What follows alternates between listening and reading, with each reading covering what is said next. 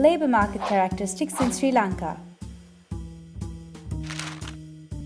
This report is based on the Census of Population and Housing 2012.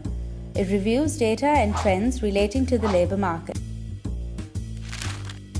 Sri Lanka's overall unemployment is at 45%.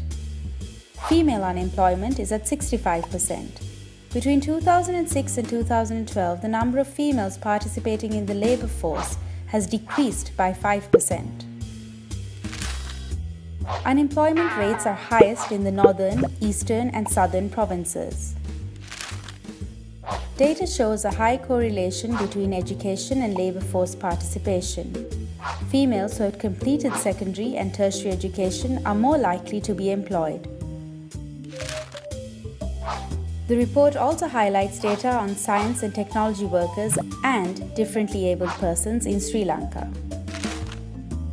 It shows that 13% of employed Sri Lankans are working in science and technology related occupations and that labour force participation for differently abled people is also low at 29%.